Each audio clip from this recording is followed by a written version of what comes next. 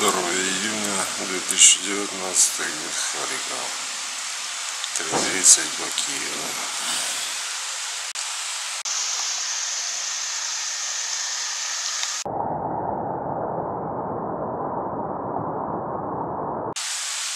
Вот как хорошо. Как раз молния поймали.